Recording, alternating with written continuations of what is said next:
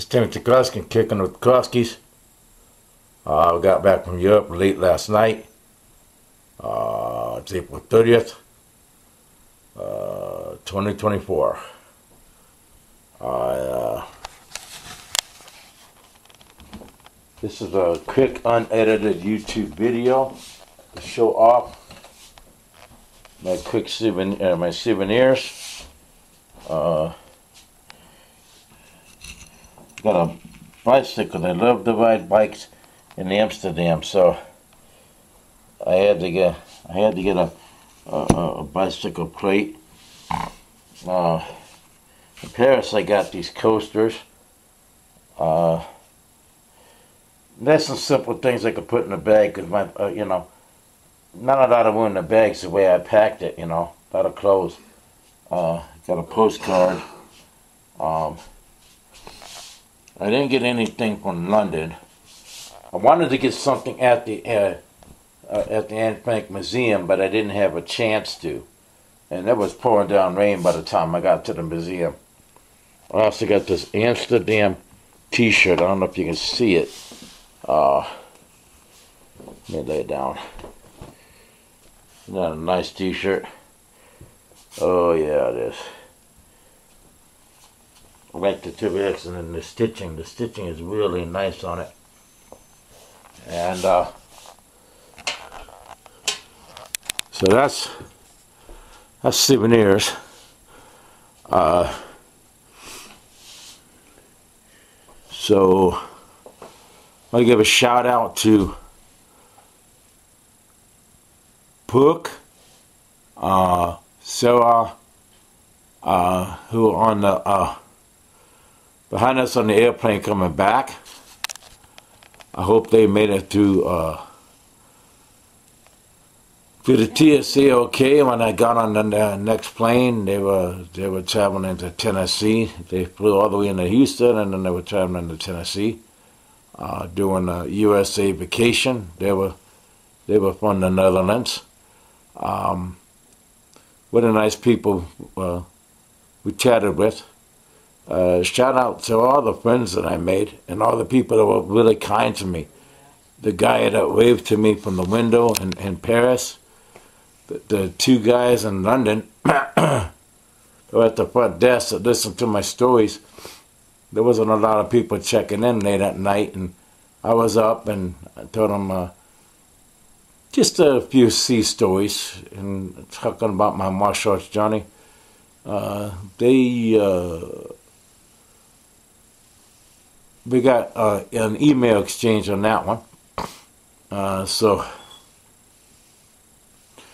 the girl that was on the one train, uh, I have to go forward on the train. I can't go backwards, and I, I only had a backwards seat, and we got to switch, got to switch a, a, a an open seat, and uh, that was a nice conversation. Um, so shout out to all the people that were like really kind. All right. Oh yeah, and this the other souvenir. That's this of a Paris one. Uh, is the uh, Eiffel Tower. The Eiffel Tower figurine for the bookshelf. Uh, what do you think of, of Europe, Joe? It was good. Had a good time. Despite yeah. being sick.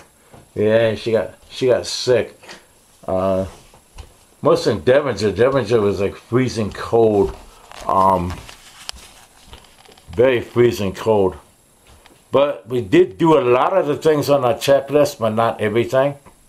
Right? But I uh, I would have to say the absolute highlight was when I got to see the Anne Frank house uh, the outside of it, but it was pouring down rain by the time I got there. Uh, I didn't get there until after we saw the um, tulips, and that was a five-hour trip total uh, to do, the, do that tulip uh, uh, festival thing at the tulip gardens. And so, wow, be- tulips are beautiful. and by the time I got back, it was pouring down rain. I made sure Joe got back to the hotel Uh, this was in Amsterdam, of course. Uh, I mean, so Joe got back to the hotel in Amsterdam, and then I went out and saw the Anne Frank house. Except the place that the tulips were at was not Amsterdam. It was this town right here, uh, Q Q Q Holland. All right, uh, and that was like uh, uh, over an hour ride on a bus. Um,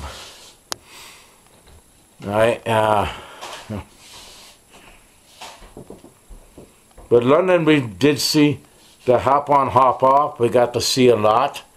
Um, and then we got to do the Thames River thing. Wasn't too too bad in London. Uh, cloudy, a uh, little bit of rain, but not as cold as Paris. Paris was uh, cold, and Devonshire was even colder. Um, uh, Paris, we did do all the stuff we wanted to see. Uh, we did get into the Louvre. Uh, we did uh, see the outside of the cathedral, and we did uh, see the Eiffel Tower. and then Devonshire, Jill got to do a little bit of things with me, but she was mostly in the room because she wasn't feeling well. Uh, so I went out and took a lot of pictures of Devonshire. You're going to see it on the video.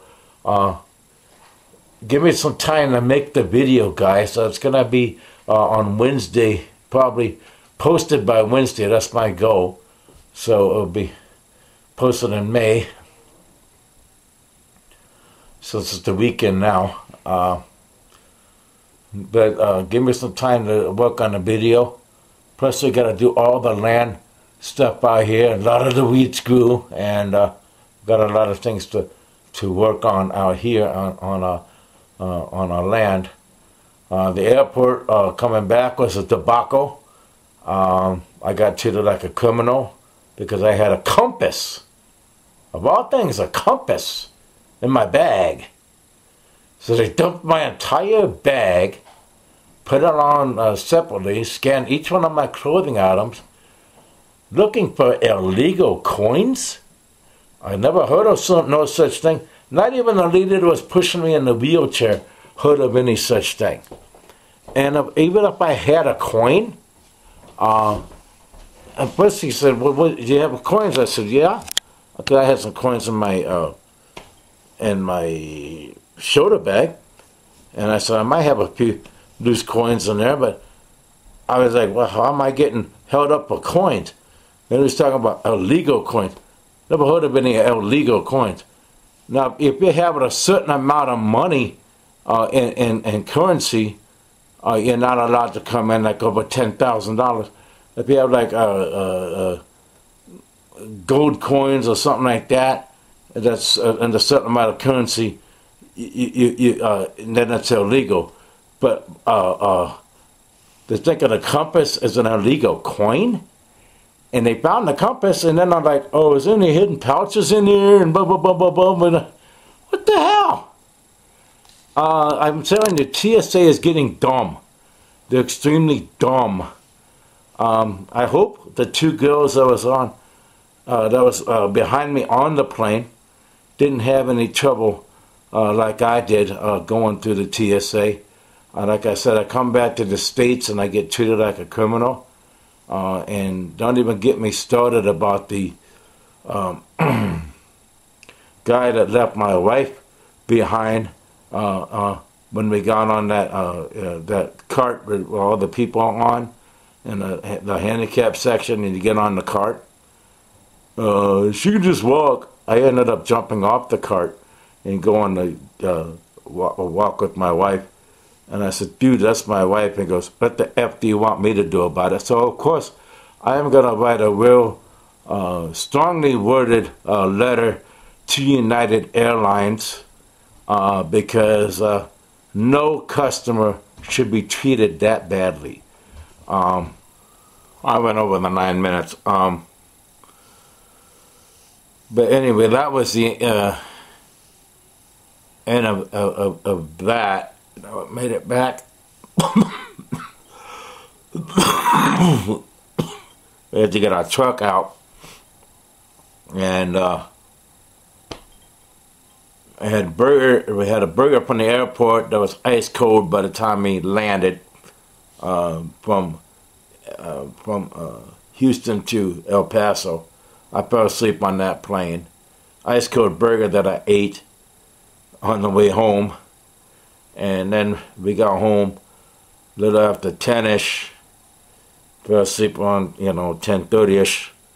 Was listening to ASMR and. Uh, then I did wake up early, watched a few videos on YouTube, and and uh, that was uh, pretty much it. Uh,